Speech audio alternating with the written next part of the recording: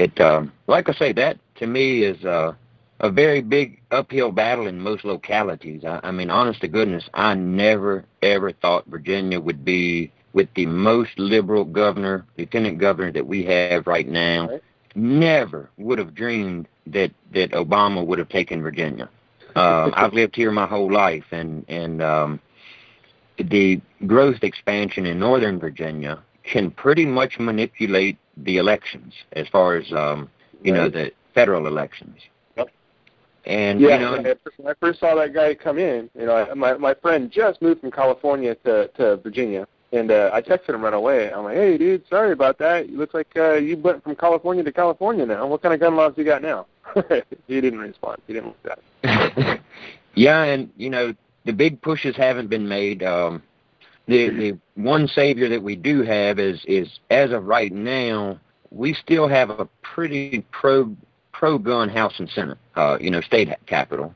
Right. Um, you know, and and there's already been a few things that the new governor's tried to slip in, but they've they've overrode him, and um, you know, there's a lot of issues because here in Virginia we don't have an actual gun registration. When you go and buy a gun from, uh, you know, the gun shop, you fill out the paperwork. When they call it in, all they know is if you buy a new or used gun, and whether it's a handgun, a rifle, or a shotgun.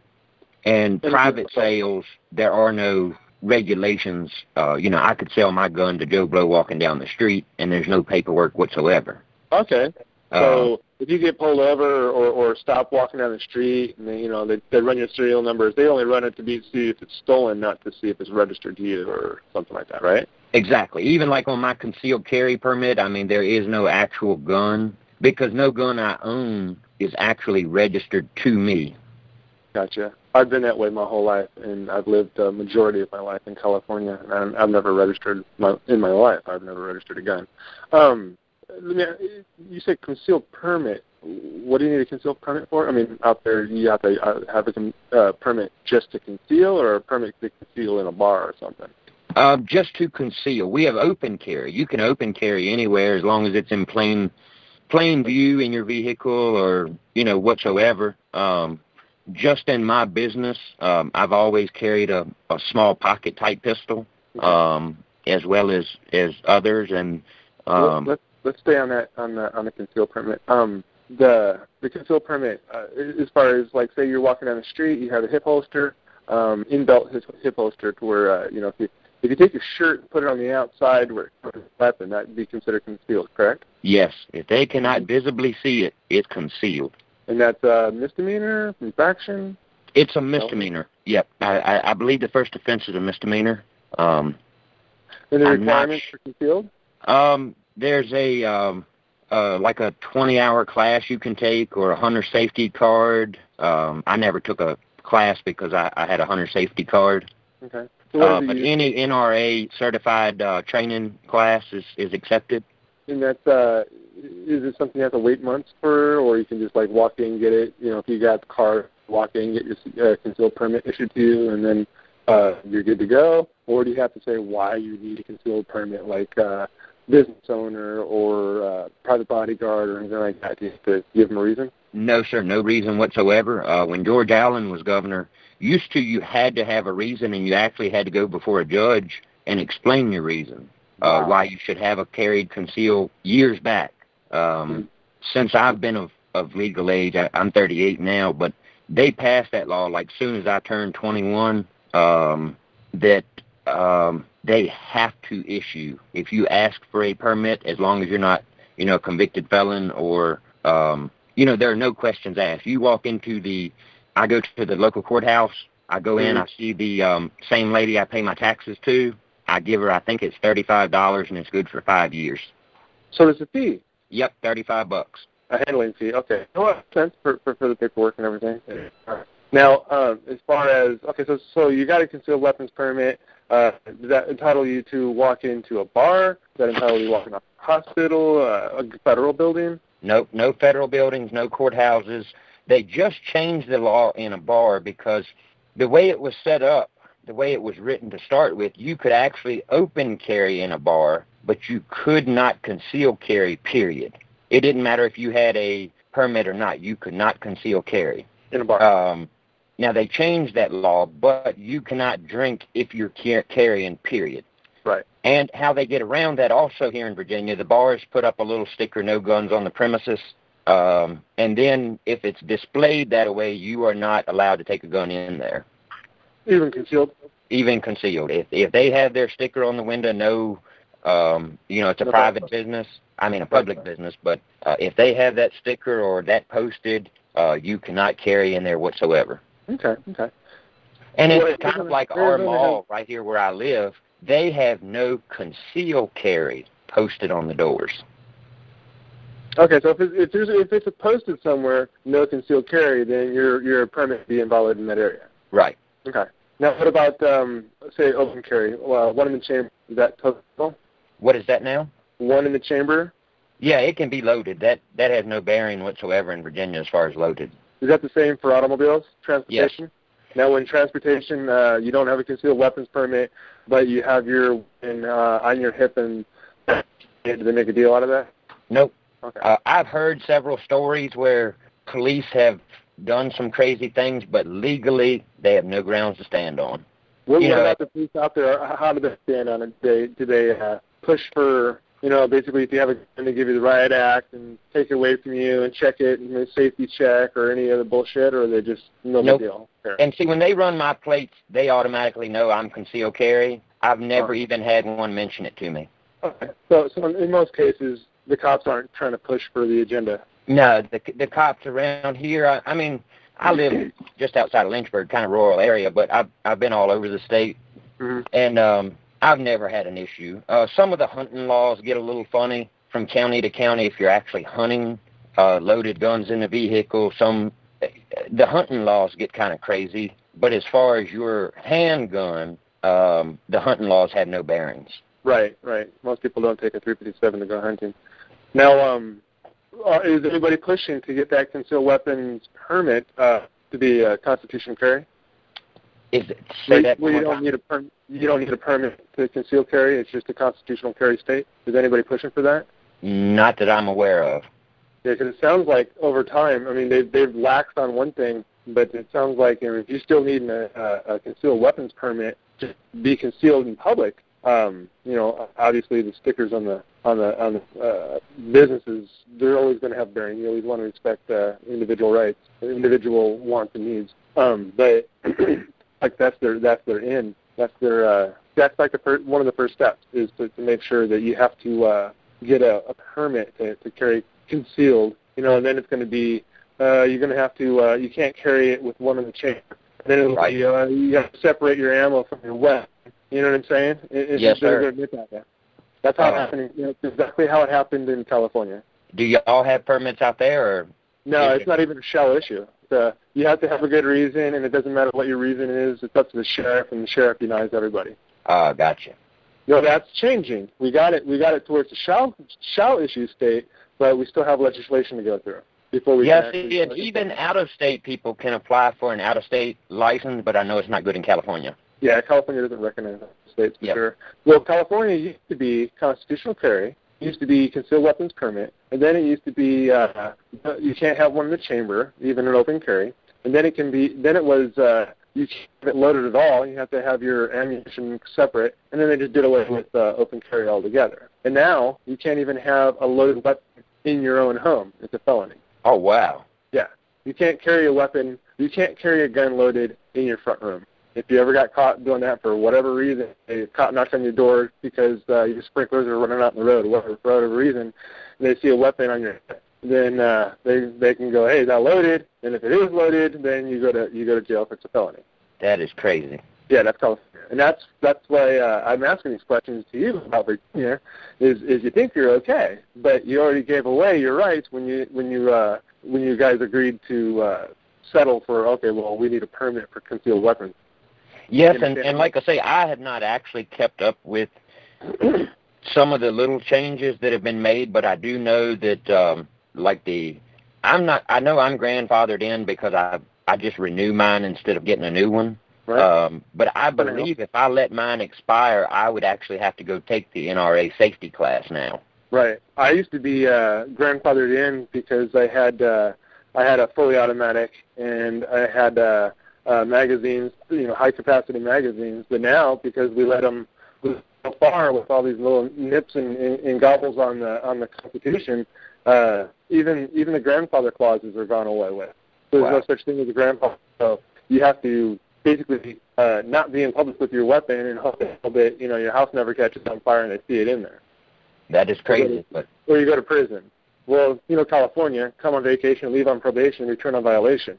That that's been that way since the 80s. And I see uh, I see that Nevada when I went to Nevada for the Bundy Ranch thing, I saw that they uh, they have the if you're going to carry it in your vehicle, um, you can't have one not you cannot have one in the chamber. So basically, you have an unloaded weapon, right. and that's that's their first nip at, at the Constitution. I didn't check their. I was only there for a short time. I didn't check for the concealed weapons or anything like that. But they had that one law. and That's that's one of the first steps. Yep, and And and I actually have done a little research on the Nevada and all, and I know they don't um, they don't accept Virginia concealed carry permit. They're not reciprocatory. Um, So Virginia is not a not a constitutional, or excuse me, uh, Nevada is not a constitutional uh, carry either. Then, right. yeah. So Arizona is like the state that's constitution carry, where all you have to do is be of age, and it doesn't matter if it's concealed, doesn't matter if it's loaded. Actually, encourage it to be loaded. If you get pulled over or whatever, and they ask you, do you have one in the chamber, and you say no, and they're like, hey, we really appreciate it if you put one in the chamber because something happens. It takes its time to get there to protect you. So that, you got that weapon to protect yourself. So make sure. That's how the that's how the officer in Arizona. And you know, I um, stayed in Georgia for several months, and I never. I know Georgia doesn't actually recognize Virginia concealed carry as uh, reciprocatory, but the way their gun laws are written, it's insane to try to figure out. Um, right? If I believe I was okay open carrying, but I wasn't 100% sure. Um, and in the vehicle, the the language of the laws is so confusing. Um, I, I guess I'm lucky. I just never got pulled while I was down there. Weapon in the trunk, um, uh, ammunition in the glove box or a separate locked container, stuff like that. Yeah, it was some things about it could be loaded if it was locked in a glove box. It couldn't be loaded, you know, in certain places. Um, like I say, it was all kinds of crazy laws. And then if I got in someone else's vehicle, I had to have written permission to have a gun um, from that person. Like I say, it, the laws in Georgia, I don't know how anyone understands them. It's just a hosh posh way. It basically, it's um, con- not conforming, uh, uh, compromising is what they what, what, you could call it. It's uh, it's it's it's anti-gun versus pro-gun, and they're trying to make it to where you know, okay, if you guys ease up on this, we'll do this, blah blah blah. Basically, like the NRA. That's why I don't support the NRA anymore. It's because it compromised. When basically, it's Arizona never compromised. Arizona says doesn't matter. Constitution's Constitution. We're going to follow the Constitution. We're not going to we're not going to do your your mamby pamby bullshit. And that's the way NRA needs to be. That's the way Cal Guns in California needs to be. And it's the compromising that does it. Because you know, evil can compromise with good, or good compromises with evil. The only one that's going to give up anything is the good. Evil is always wins if good compromises with evil. You, you know what I'm saying? It's the same thing you're- with the gun law. You're exactly right, and that's the way I feel personally. I, I mean, that is my right to have a gun, no matter where I go in this country. Um, Right. I know I'd go to jail in a lot of places because of that, but that's just my personal opinion. Uh, that any American citizen that, that is legal um, should be able to carry wherever they're at, no matter you know what state they're in, because they're still a United States citizen under the Constitution. Right. Well, any unconstitutional law is is no law at all, and owes and, and no one owes any. Uh, nobody owes in the least such a law. Now, uh, if, if you really want to boil it down, it doesn't matter if you're a convicted murderer third time in a row. You get out of prison, you should be able to walk into a 7-Eleven and buy a gun. There should be no law against a felon or domestic violence or any of that when it comes to carrying a weapon, carrying a gun. That's right. It's it's been things that have been added, and you know, I got into a debate, and I was actually wrong, but it was because of what the police have in, enforced, and because everyone believed it. Um, it, what it had to do with was a sawed-off shotgun. Um, and in the state of Virginia, I know years ago a fellow that was prosecuted um, and convicted for he had simply sawed the barrel off of a shotgun, and it was over the 18 and a half inches. But because it was a sawed-off shotgun, that's what they charged him with. Right. Um, but that is not the actual law. The actual law um, it has to be so many total inches. Uh, Eight and a half for for concealment. Any weapon, any rifle or shotgun that, that is capable of being concealed is illegal. Exactly. And and that is the actual law, but because the cops in Virginia had had been writing it as any that were um sawed off period were illegal, it was sort of Right. accepted. Even though it wasn't true, it was accepted. People were being prosecuted and convicted of it um when it was not the actual law. Right. And they probably did their time and got out, and then oh crap, I was was arrested for for nothing. That's uh, um, lawful imprisonment. Now they actually have uh, you know a multi-million dollar lawsuit if you ever get unlawfully imprisoned. That's basically if you ever go to prison for a law for for breaking a law, there is no law. Uh, yeah, either while you're in or, or once you get out, or it doesn't matter. Even if you spend a day, have an unlawful imprisonment uh, lawsuit. But Well, that's right, don't act on that. and there are so many crazy outdated laws things that people have put in place. Um several years ago i had um i have a livestock business and um several years ago a calf had somehow gotten out of one of the holding pens there and um we couldn't find the calf. I, I mean you know this isn't wide open desert. This is pine trees as as thick as you can imagine. And um i honestly think someone shot the calf Uh-huh. and um anyway, the the calf was was dead on the next road over. When I was notified, I went over there, got the calf, buried it. Next thing I know, a deputy sheriff shows up and writes me a ticket after the calf was already buried for failure to bury dead livestock. When I Well, got to when I got to court, the judge laughed the cop out of the courtroom. He said, "I've never even heard of such a law." There isn't. Hey. But I got ticketed and had to appear in court for it. Hi, hi, hi. The, the, the wrongful handling of uh, biohazardous waste, if anything. Hi, hi, hi, hi. Good morning, Is Barbie. that, is that Bobby? I'm off to the doctor's now. I just wanted to say hi to you guys. Good morning, Barbie. Morning. Hugs all around. Who's making a strange whistling noise? Oh, that's my fan, probably. Oh, okay. I'll be back after 11 and I'll be able to talk then. okay. I'm sorry I didn't call you last night. I was to the truck, and then uh, yeah, that went crazy. So it was late when I, so I wasn't able to call you last night. You gonna call you later on this afternoon? I was listening. Oh, you you heard all that? I fell asleep through most of it. Oh, lucky you. Codeine, man, it rocks. Got a, All right, got a cockatoo. What is that? I'll be back after 11. Okay.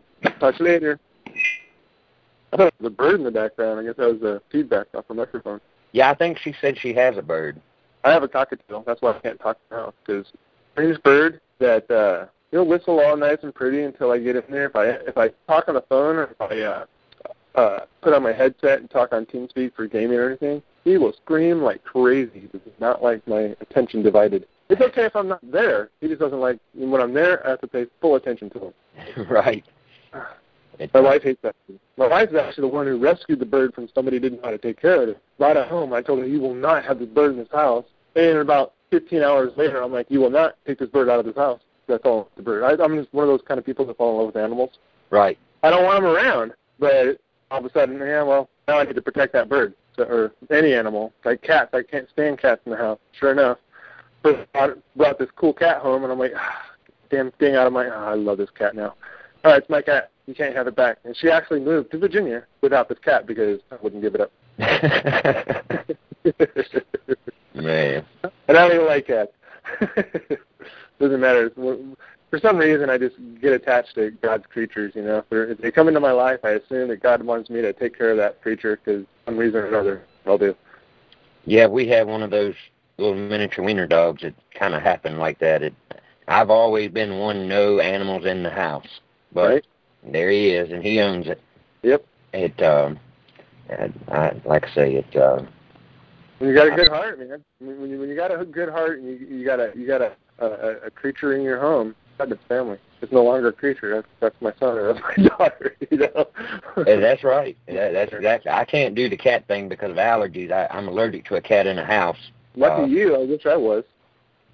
If I was allergic, then I'd been like, uh, I can't. I'm dying, so you have to get the cat out of here. But no, I had to be like not allergic to anything at all in my life.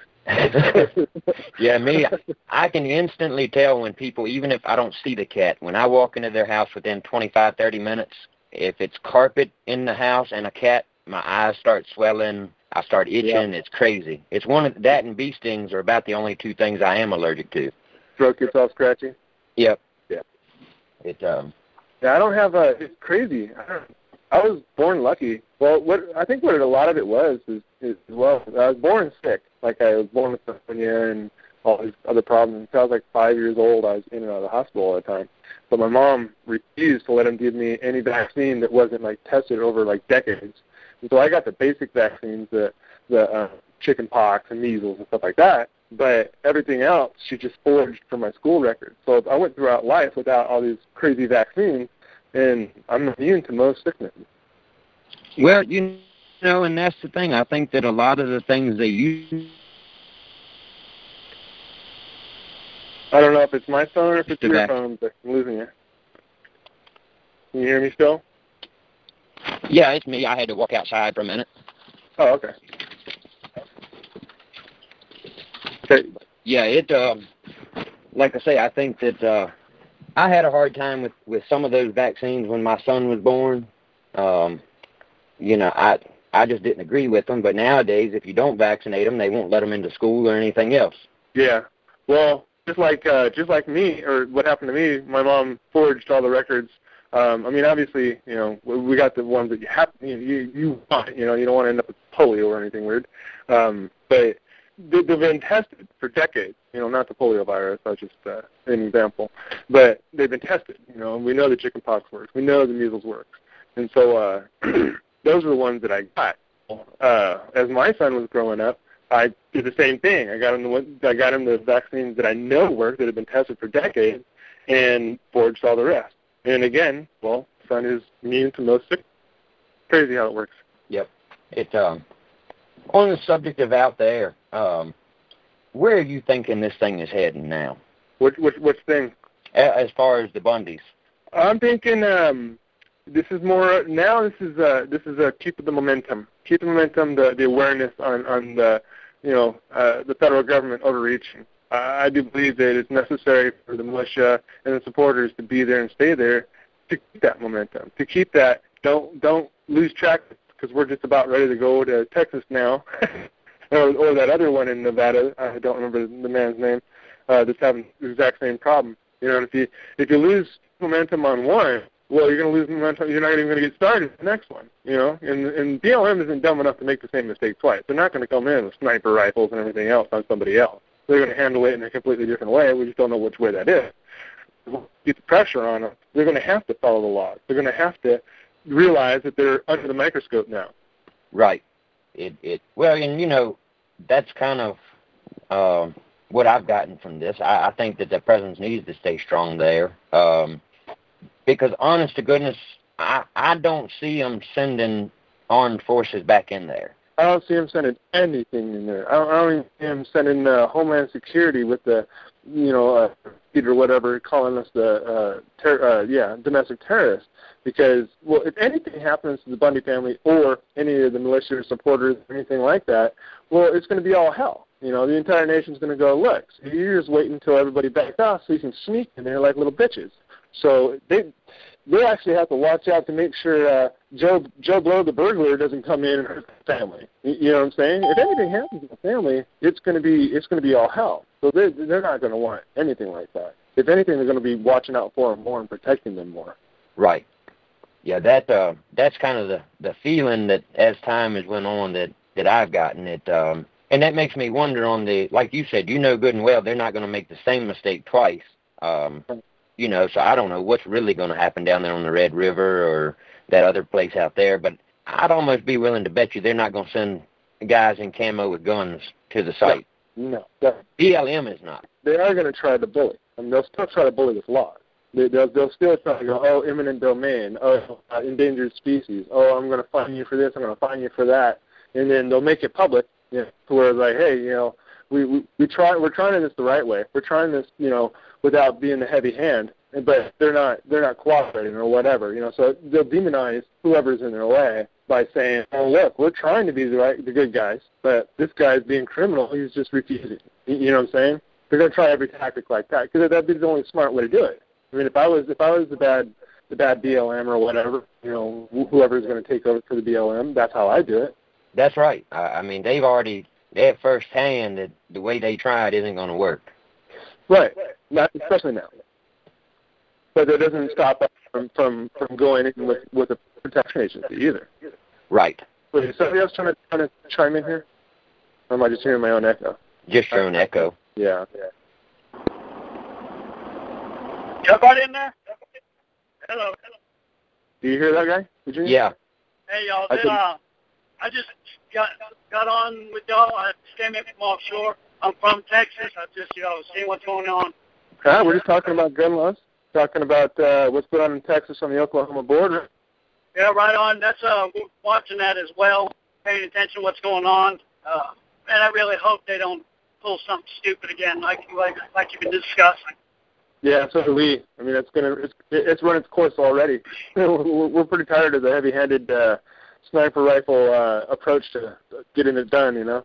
Uh, I mean, I, honestly feel in my heart they're trying to start something, uh, a civil war or revolution or something. I really don't know. You know, here uh, on the Brady Ranch, you know, racism. They're trying to get they're trying to get people riled up Right. instead of trying to calm a situation and come to uh, an agreement. Really don't know anymore. Hey, who, who are we talking here? Uh, Texas. Who, who, who are we talking to? They, they call me Irish. Okay, Irish. Are you driving right now? Uh, roger that, I am. Like I said, I just got in. I work offshore in the Gulf of Mexico, and uh, I just hit the beach, and I got about an eight-hour drive home, and so I listen to what's going on. Oh, bless your heart. Yeah, we can tell you're, you're driving because you're kind of fading in and out, but we, we can get the most of what you're saying. Yeah, well, I'll just sit on the side and listen to what y'all have to say and chime in when you know. Yeah, well, as far as as far as your concerns on the Texas uh, Oklahoma border, the the the land grab there, I think what they're trying to do a, a lot of um, is going to with starting a revolution and starting to get people riled up and everything is they're testing the waters. They're seeing how the people are going to react. I mean, they know that they're already trying to do some stupid stuff as far as uh, prison planet, you know, basically get everybody to submit. and they're wondering how far how the BLM put up that uh, free speech. Now that was bullshit, and we all know it. More testing the waters to see if anybody's dumb enough to stand in the free speech zone, or if we're going to get pissed off about it. Now, if we didn't get, you know, is pissed off about it, well, then they're going to go ahead and keep implementing it. So they're just testing the waters to see if they can, basically, little kids, see what they can get away with mom and dad. And that's what the federal government's doing, is seeing how, how far they can push us, and so they can know their limit and, and where to where to kind of encroach a little bit more. Does that make sense to you? Oh, that makes perfect sense. I mean, and you're absolutely right on your analogy. They're like children. They're going to see how far uh, they can push us, and then it will get to a point where they're going to push so hard, we're going to punch back. We're not going to push back.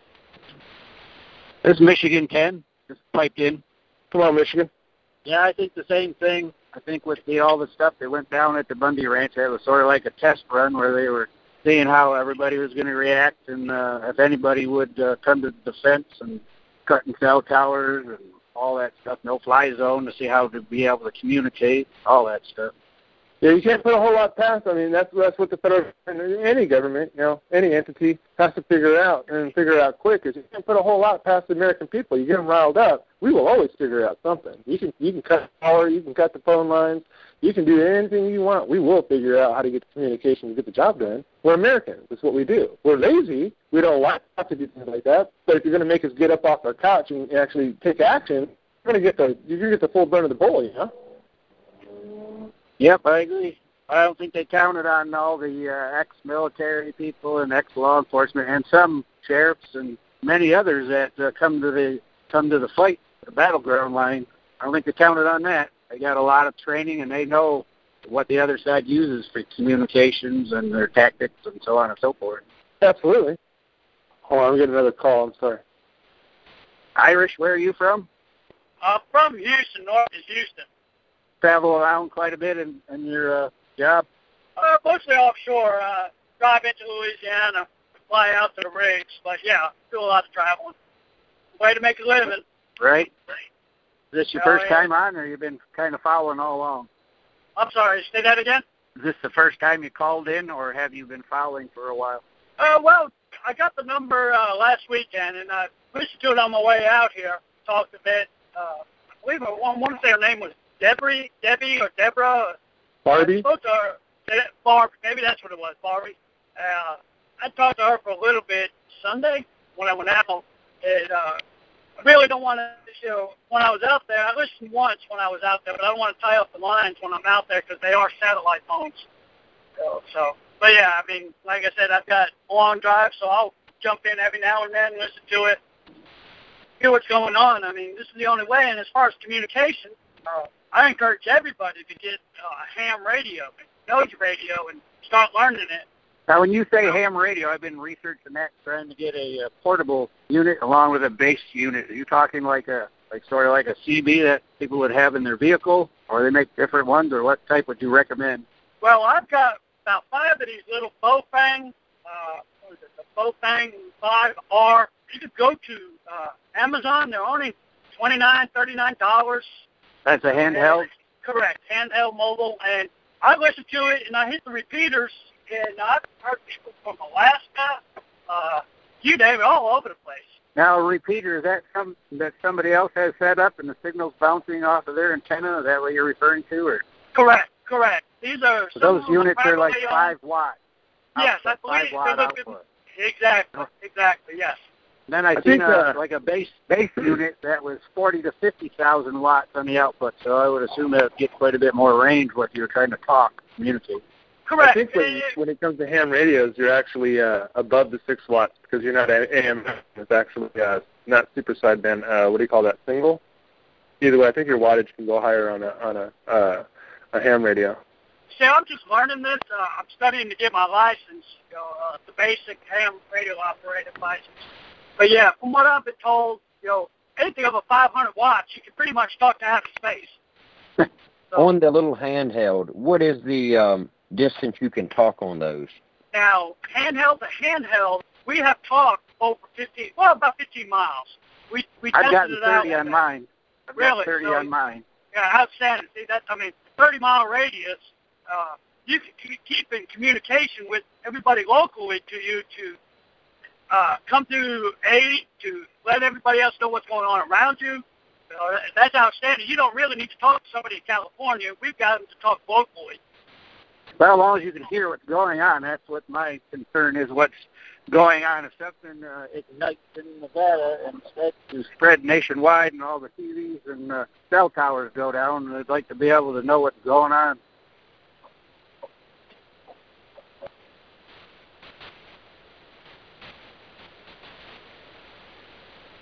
I just ordered one off of eBay. You can get them for with free shipping right now, uh, forty-two dollars. Um, I wasn't exactly sure how those work. Um, I have fooled with the ten meter CBs, and like you say, you can talk with the right setup and some power pushing it. You can talk forty or fifty miles. Um, but I wasn't exactly sure how those handheld hams would would uh, communicate. Apparently nowadays they got the UHF and the VHF or something along them lines. They got a couple different wavelengths or something which I'm not familiar with yet. Also, uh, when you get the radios, the little Baofengs, they come with those little rubber duck type antenna. You can go to a place called mfj.com. They sell all kinds of ham stuff, and they've got this little antenna, probably 14 inches long, and it's real thin, and it will expand your radius too. For for picking up stuff. Correct. Picking up and, and sending out. Yep. I got the one that I was referring to that I got the 30 miles on was like a Radio Shack, like walkie-talkie. Probably 20 years old, but it actually has about an 8 or 10 inch antenna on there. That might be why I got the extra range possibly. The new ones are quite a bit smaller, probably a, a third of the size of the one that I have now. Yeah, well, we had gotten them. Uh, like I said, I've got several of them. One for actually each member of the family. So if something does go down, we are separated from one another. We've got certain channels programmed where we can communicate with one another. Because, like you said, these cell phones go down, cell phone towers go down. You know, I'm also a prepper, so yeah, I mean, you know, Well, you need to try to find one that also has that an external uh, uh, way capability of hooking up to say a car battery and get yourself a solar charger. That way, you still will be able to communicate even if the power goes out. Oh, Roger that. I've got portable uh, little solar panels with batteries. So yeah, I mean, I've got those. Uh, got a car charging. It comes with an adapter. I don't know if they've got a Academy up there, but they at sports you buy anything from fishing rods to reels to you name it, golf clubs. But they have a little solar panel there, built-in battery, and they will charge stuff.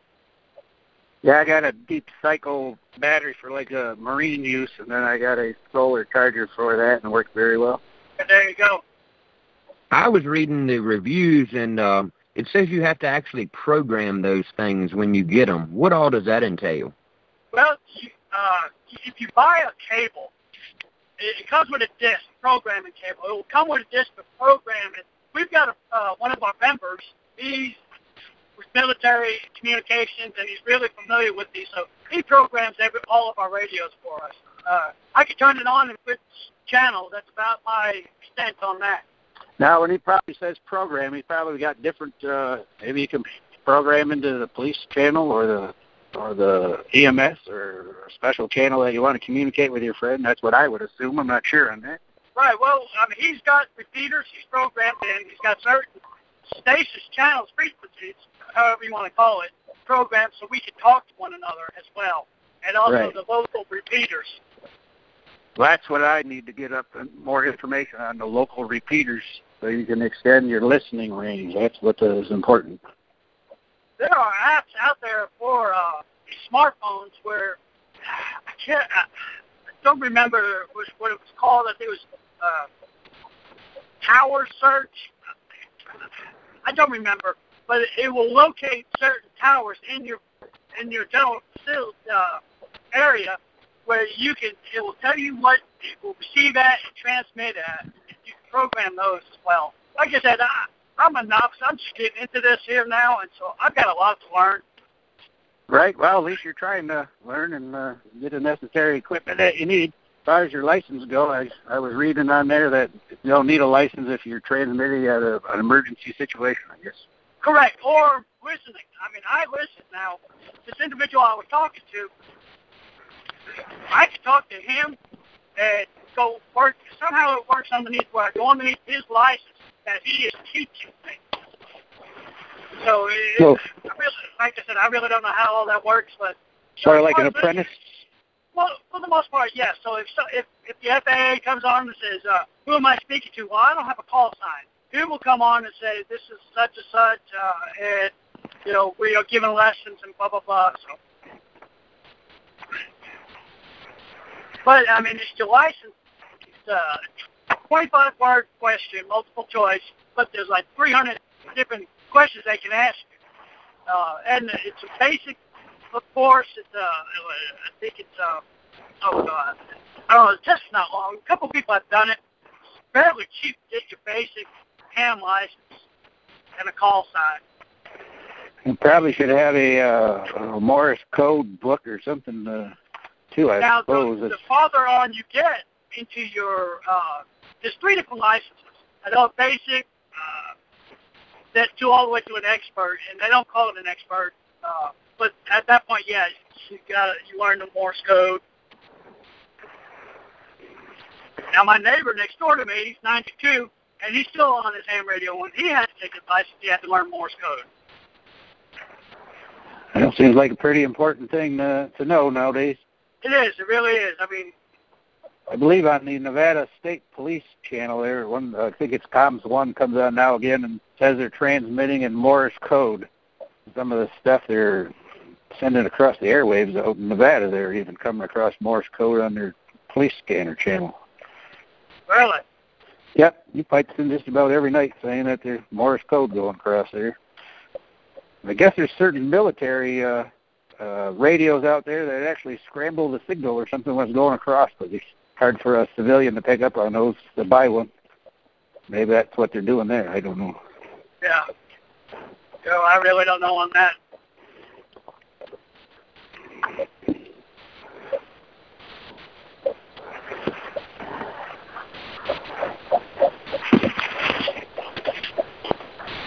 Um, anybody that stays on here, pretty much, or if y'all aren't doing anything tonight, um, make sure y'all are in here at um, nine o'clock. Got something special going on? Just I, I can't really say nothing, but just be here at nine o'clock. All right. Um, nine o'clock Central Time, I guess it, that is. It's ten o'clock my time, but uh, make sure y'all are listening in right around nine or just a little bit after. Will do. I'll be sure to tune in. The the regular uh, well used to start at eight o'clock Central Time, but last night they had two different uh, boots on the ground call in with updates, so that was uh, good to hear. For the the one guy was the head of security for the ranch. Right, and and it's going to be it's going to be a caller in about that time tonight, and like I say, just make sure y'all are listening. Is his name Combs One? No, no, no, no. It it uh like I say, just be here at nine o'clock. I will. I will. Central Time. Central Time. That's ten o'clock our time where I'm at actually. But they had a lot of good information there. I'm not sure if y'all heard yesterday that, but they did uh, set up a Walmart registry for the uh, boots on the ground at the ranch. What's uh, the items that they needed out there? They actually got like a, a wedding registry that you can go on to and pick stuff and send out, and then they'll get it. Designated person will pick it up from the Walmart in Mesquite and then take it to the ranch. And all that information is on the community conference call uh, site on Facebook.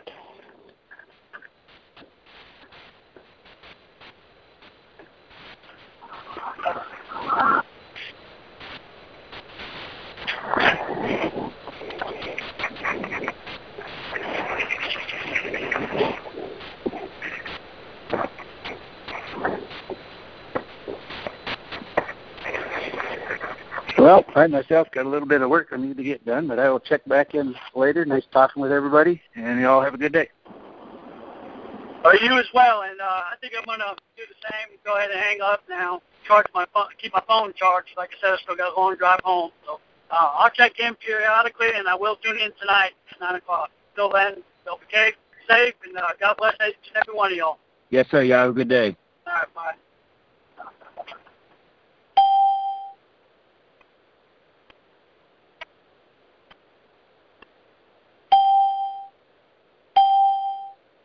Hey, this is a high one. Who's here?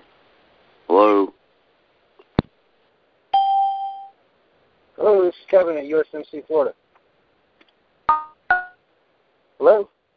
Anybody on the line? Hello?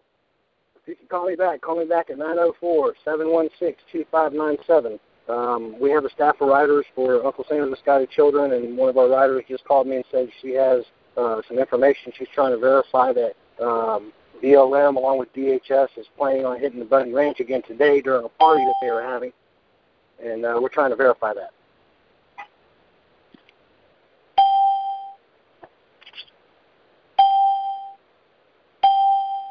de todos los sistemas, oprima la estrella.